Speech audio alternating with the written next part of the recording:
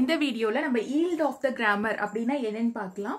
So already வந்து நம்மளுக்கு இதுதான் கிராமர்னு தெரியும். இதுக்கு இப்படி தான் பாஸ்ட்ரி வரைவோம்னு தெரியும். கரெக்ட்டுங்களா ஸோ இப்போ அது வந்து நம்ம டெரிவேஷன் எழுதிக்கலாம். First E tends to E plus T போட்டுக்கிட்டோம். அடுத்து இந்த e ஈக்கு பதிலாக டி அடுத்து இந்த டீக்கு பதிலாக எஃப் எஃப்க்கு பதிலாக ஏ ப்ளஸ் டி அடுத்து இந்த டீக்கு பதிலாக டி ஸ்டார் எஃப் போட்டோம்.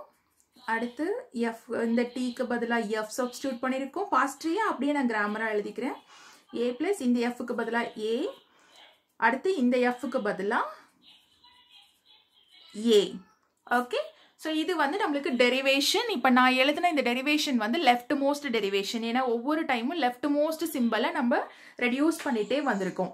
ஸோ இது வந்து லெஃப்ட் மோஸ்ட் டெரிவேஷன் சொல்கிறோம் இப்போது இது வந்து நம்மளுக்கு நம்பர் ஆஃப் ஸ்டெப்ஸ் டுகெதர் கரெக்டுங்களா இதை நம்ம எப்படி எழுதலாம்னா இ டென்ஸ் டு இதுக்கு மேலே ஒரு ஸ்டார் போட்டு ஏ ப்ளஸ் ஏ ஸ்டார் ஏ அப்படின்னு எழுதிக்கலாம்.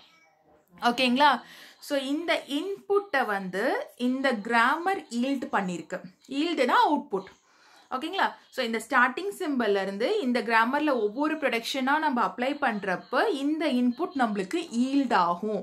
அப்படிங்கிறது தான் meaning yield of a கிராமர்னா output of a grammar so இந்த இன்புட் வந்து it belongs to this given லாங்குவேஜா இல்லையா? அப்படின்னு நம்ம டிரைவ் பண்ணுறதுக்கு பேர் தான் ஈல்டு ஓகேங்களா இங்கே ஏன் இந்த ஸ்டார் போடுறோன்னா இந்த ஸ்டாருக்கு மீனிங் என்ன? க்ளோஷர் க்ளீன் க்ளோஷர் க்ளீன் க்ளோஷர்னா என்ன?